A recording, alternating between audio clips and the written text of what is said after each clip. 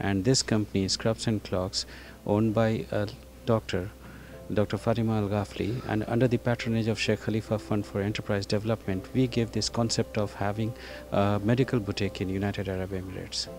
Participation is uh, brilliant and we are happy with the turnout of the crowd as well as the visitors, trade visitors and the participants from different countries, especially from those who are coming from Saudi Arabia.